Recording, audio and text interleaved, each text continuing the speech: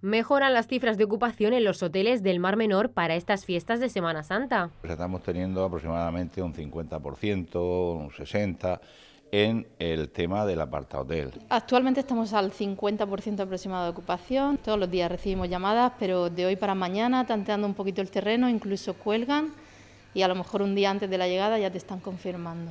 Pero se han tenido que adaptar y mucho. Estos apartamentos de San Pedro del Pinatar mantienen cerrada la parte del hotel y algunos de sus servicios por falta de clientes. Desafortunadamente la situación nos ha llevado a tener que tener cerrado actualmente el hotel y solo ofrecer apartamentos eh, con servicio 24 horas de recepción y con cafetería. Tenemos abierto el apartado del Bahía, que bueno, tiene 35 habitaciones. Entonces decidimos cerrar el Traíña durante la semana y cuando no hubiese ocupación, porque al principio lo intentamos y las pérdidas no, nos comían. Aumenta ligeramente el turismo, pero siguen sin ser buenos datos. Así nos lo cuentan algunos gerentes hoteleros que reconocen tener miedo a lo que pueda pasar en verano. Yo lo veo mal.